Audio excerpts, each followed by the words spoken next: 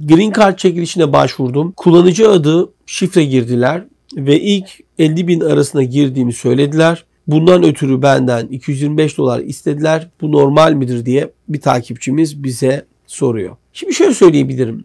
Yani bahsettiğiniz durumda sizden bu parayı isteyen da bu çalışmayı yapan kişiler büyük ihtimalle size doğruyu söylemiyorlar.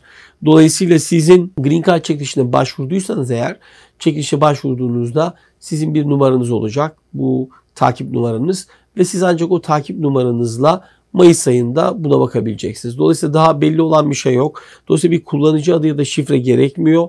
Siz State Department'ın web sitesinden sizin referans numaranızla dosya durumunuzun ya da çıkıp çıkmadığı durumunu öğrenebiliyorsunuz. Dolayısıyla siz işte ilk 50 bin arasında girdiğiniz gibi bilgilerle sizi yanıltıcı bir bilgiyle karşı karşıya kalmayın. Siz eğer bir çekiş başvurusu yaptıysanız elinizde numaranız olacak ona Mayıs ayında bakıyorsunuz. Zaten onu kendiniz State Department web sitesinden görebileceksiniz. Dolayısıyla bu noktada kesinlikle başka türlü bir bilgi gerekmeyecek. Ancak o bilgilerle bunu öğrenebileceksiniz.